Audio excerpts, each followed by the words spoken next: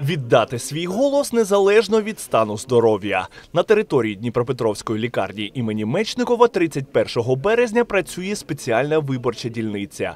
Тут голосують пацієнти, які перебувають у стаціонарі. Таких зареєстровано 572. За першу годину роботи дільниці 113 із них уже проголосували. На території нашої лікарні проводиться голосування таким чином, що з відділення вони сюди поступають е, під наглядом своїх медичних працівників. І далі наглядачі допомагають їм пройти до виборчої кабінки, щоб вони зробили свій вибір.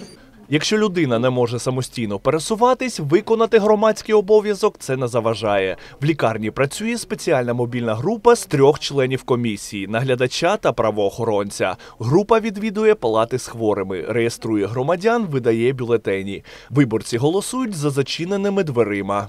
Ми з урною заходимо до палати, роздаються людям бюлетені, ми звільняємо, люди голосують і потім ми знову заходимо і все. Настрій на особливій дільниці панує переважно піднесений. Пацієнти оцінили увагу до себе як до громадян і вірять у важливість кожного голосу. Як ваш настрій сьогодні? Отакий чудовий. А чим особлива сьогоднішня подія? Ось, ось на ваш погляд. Чим особлива? Так. Надіями на краще життя. Для голосования настрой великолепный. Хочется, конечно, существенных изменений в стране для лучшей жизни наших э, вот этих же пенсионеров, которые получают пенсию 1490 гривен.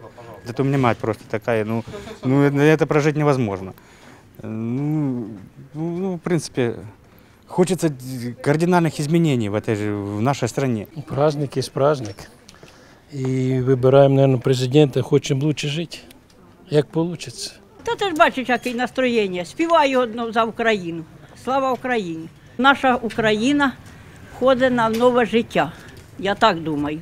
Стас Коновалов, Руслан Герасименко. Новини 9 каналу.